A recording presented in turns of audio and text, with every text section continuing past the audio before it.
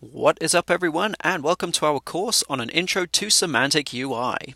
My name is Namesh and I'll be guiding you through these tutorials in which we'll learn about the popular framework semantic UI and how to use it to create beautiful and appealing websites with ease.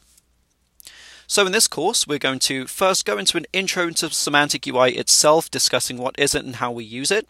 And then we'll explore the semantic UI website. Using the website to copy and paste elements is a massive part of semantic UI, and especially in this course, so it's good that we get to learn how to use the website properly. Then we'll move to installing semantic UI. Then we'll learn about how to properly structure our pages with the Semantic UI grid. For those of you who have used Bootstrap before, you'll see Semantic UI is similar to that, especially when it comes to the grid layout system.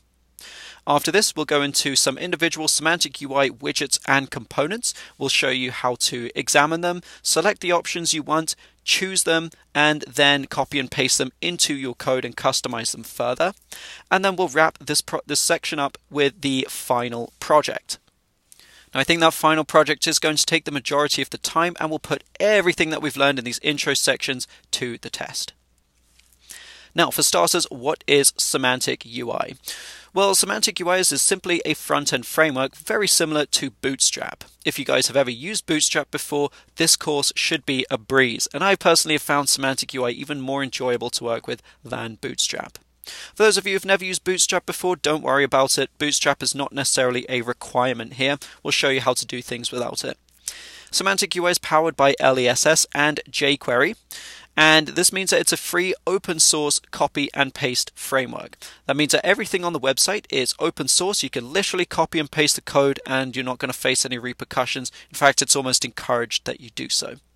And we can use Semantic UI to create web apps and websites with ease.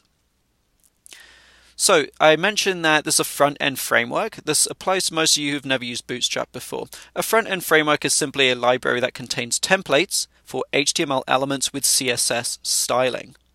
So that means that, let's say we were to select a button, well, we don't just get that boring, unformatted HTML button.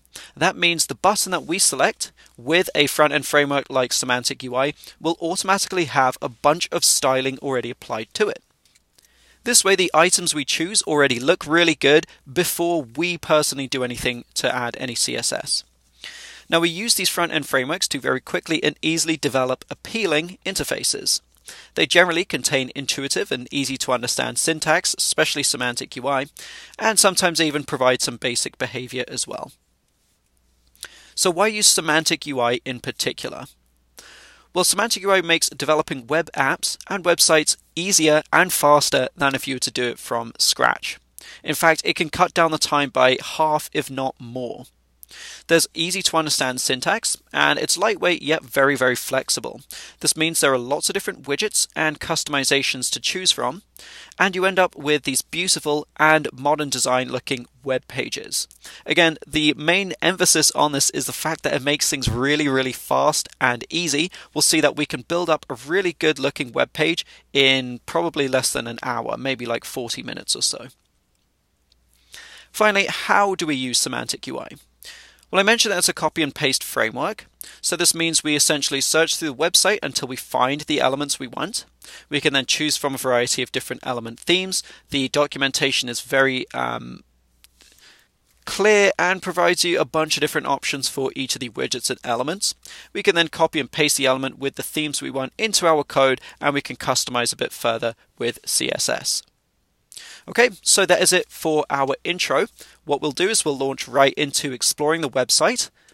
As like I said, a lot of this is going to be copy and paste and examining the elements we want. So let's get to know how to use our website properly, and that's going to be crucial for the rest of the course. So I really hope you guys enjoy this. I really enjoyed making this course, and I love working with Semantic UI. It's a fantastic framework that, like I said, has made building web apps and websites so, so much easier.